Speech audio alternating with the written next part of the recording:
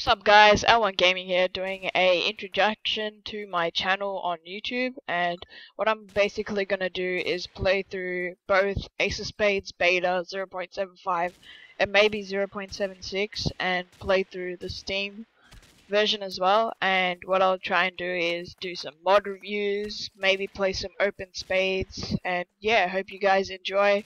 Like, subscribe if you guys want to. This is L1 signing off.